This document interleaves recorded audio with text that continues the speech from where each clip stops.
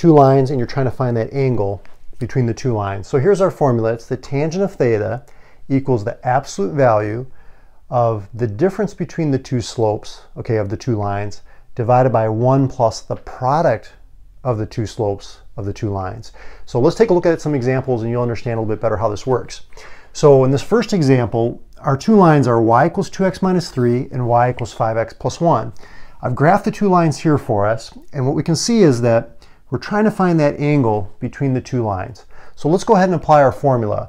So you can see that the slopes are 2 and 5. So that's what we're going to be using in our formula there. So we've got tangent of theta equals 5 minus 2, okay, over 1 plus 5 times 2.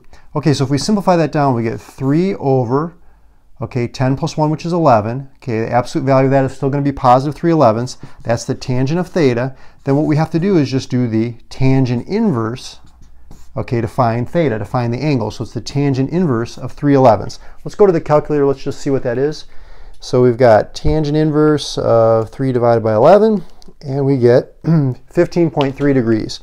So that looks about right. It's a real small angle here between the two lines. So that's going to be 15.3 degrees. Okay, let's look